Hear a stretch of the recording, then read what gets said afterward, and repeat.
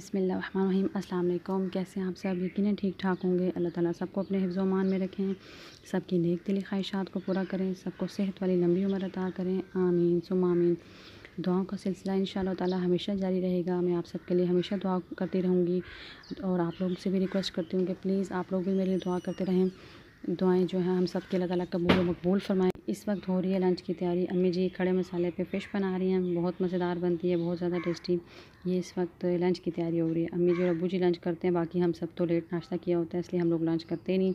Lunch हम skip कर देते हैं, एक दफ़ा शाम में ही खाते हैं। वैसे ये भी बात है कि शाम को पाँच छः बजे अगर लंच ना किया हो तो बहुत शदीद भूख लगने लग जाती है और दिल चाहता है कि कुछ मिल जाए तो हम जल्दी से खा लें। तो लेकिन यही अभी फ़िलहाल यही रूटीन हुई हुई है कि नाश्ता लेट करना और शाम में जो है वो खाना जल्दी खा लेना। इससे फिर हमारा दो टाइम का खाना होता है और बाकी लंच जो है वो स्किप हो जाता है। अच्छा ये बना रही है अम्मी भी फ़िश तो बहुत ज़्यादा मज़ेदार बना रही थी फ़िश ये। खड़े मसाले पे मुझे तो बहुत ज़्यादा पसंद है। अमूमन इसको फ्राई नहीं करती हैं फ़िश को ये। इसी तरह से डायरेक्ट डाल देती हैं और मसाला बना के तो भी बहुत मज़ेदार बनती है। और अगर आप इस तरह फ्राई कर लेते हैं हल्की सी तो भी बहुत अच्छी बनती है। सेम टेस्ट है। उसके बाद साथ अम्मी जी ने रोटी बना ली। ताकि अबू जी के आने का टाइम हो रहा था तो फिर उन दोनों ने मिल के लंच कर लिया। और मैंने साथ में खड़े होकर फ़िश को जो है मैरिनेशन के लिए रख मैरिनेट कर लिया, उसको मैरिनेट करके उसको फ्रिज में रख दिया, ताकि शाम को हम फ़िश को ग्रिल कर सकें। हमारा प्लान था कि शाम को हम लाजमी फ़िश को ग्रिल करेंगे और उसको उसी तरह से जो है मिल के खाएँगे, बाहर अपने घर में खुद ही करेंगे। हम लोगों ने ये तो सोचा नहीं कि हम लोगों ने कोयले लेकर आए नहीं है और कोयले थे ही नहीं। थे क्या हुआ फिर शाम के टाइम मेरी सिस्टर जो है, वो जब आई पिछली साइड उसने अपने हमारे घर की जो बैक साइड ना, उसमें आई तो आके देख रही है कि कोई लकड़ियाँ वगैरह हैं तो हम खुद ही कोयले बना लेते हैं। और अब टाइम भी नहीं है, अब अचानक से हमें याद आया, मेरा ख्याल सात बजे का टाइम था, तब हमें पता लगा कि हम लोग तो कोयले लेकर नहीं आए। तो हम लोगों ने सोचा, चलो खुद ही घर में कोशिश करते हैं, बन जाएँगे। बहरहाल वो सिस्टर मेरी शुरू हो गई लकड़ियाँ तोड़ने के लिए और वो बनाने लग गई कोयले।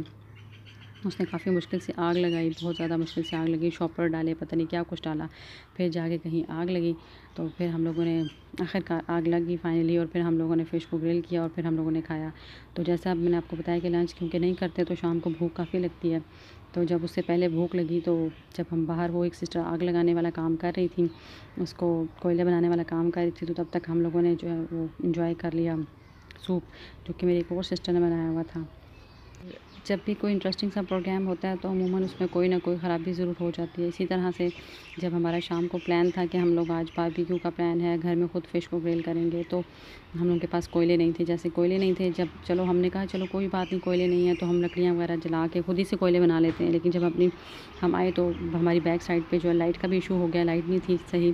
तो जिसकी वजह से सारी वीडियो आगे जो मैं आपको, आपके साथ शेयर करने वाली हूँ तो मेरी सारी मेमोरीज़ हैं। प्लीज़ मुझे अप्रिशिएट करिएगा और आप भी मेरे साथ साथ इंजॉय करिएगा। तो वो सारी वीडियो जो है अंधेरे में बनी हुई है। तो उसके बाद अच्छा फिर हम लोग जब वो बना रहे थे, कोयले वगैरह बना रहे थे और अभी आग लगा ही रहे थे तो मेरी अम्मी जी ने उस टाइम कहा कि चलो, अगर आप लोगों को भूख लगी तो मैं साथ ही रोटी भी बना देती हूँ कि आप लोग खाना भी साथ खा लेना फिर।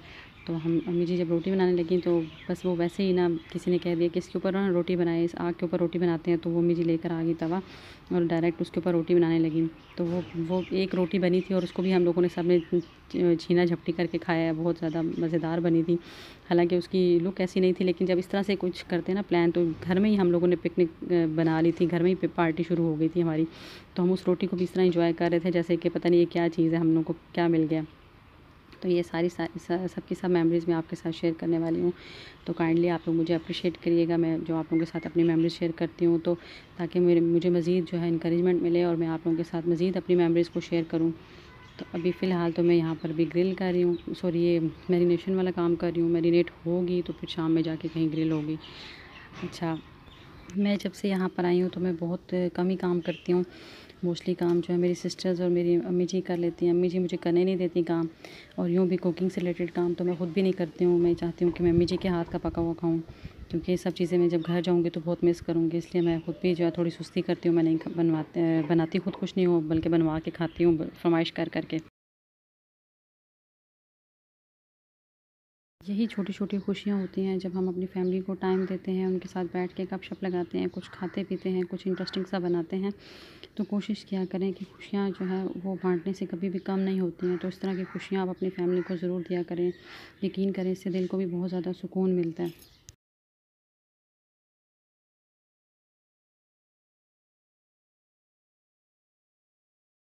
सब अपनी अपनी ज़िंदगी में बहुत ज़्यादा मसरूफ़ हो चुके हैं। हम लोग बहुत ज़्यादा बिज़ी रहते हैं हमारी लाइफ जो बहुत बिज़ी हो गई है।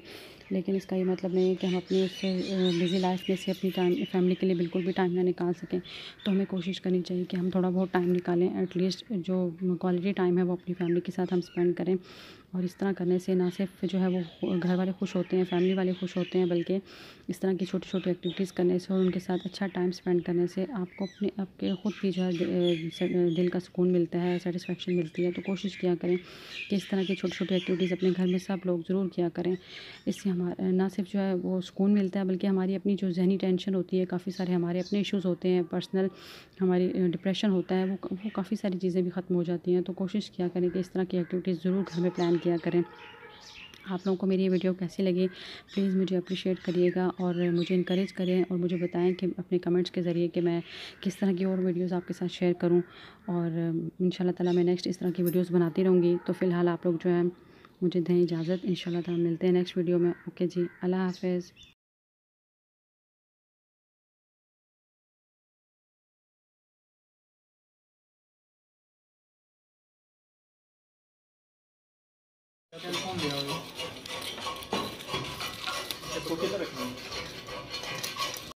भाई इसको तेरा साइड कितना साइड पे? और पीछे कोयले सेट करने देते तेरा कोयले ये ज़्यादा है जलेगी हाँ जी इसको भाई इसको वो खड़ी ईंटें ना रखते खड़ी कर सकते हैं वैसे खड़ी कर दें आप। खड़ी ऑटो खड़ी करो इधर। ताकि वो हाथ बचा के। हाथ देखना।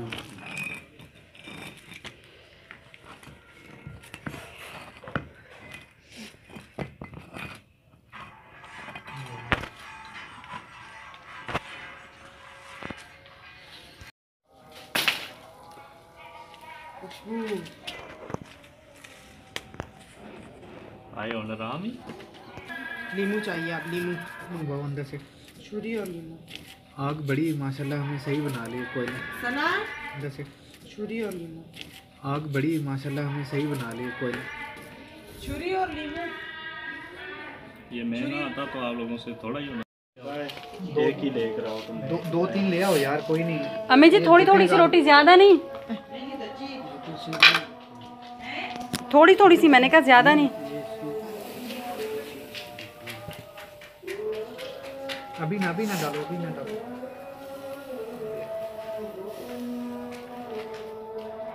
आप डाल दें। नहीं अभी तो एक बार उसे होने देना फिर मैं बताता हूँ कैसे डालता है नहीं और देखना है क्या। और चलेगा जी। नहीं नहीं।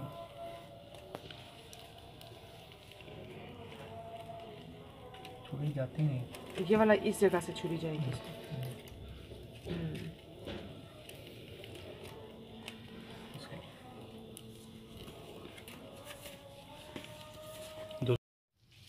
चेक करें पहले सही बनी है कोई एक चेक करे ना। ये लगा दो ना इतनी देर में उनको दोबारा कर लेना ना। अच्छा यासर भाई इसको उठाएँ दो मिनट। यासर भाई मोला मेरे मोला मेरे मोला मेरे मोला मेरे मोला मेरे मोला मेरे मोला राज उसने मुझ पर खोला के इश्क मोहब्बत जिसके दिल में उसको पसंद करता है ये मौला मेरा दिल यही बोला यारा आँखें तेरी कितनी हँसी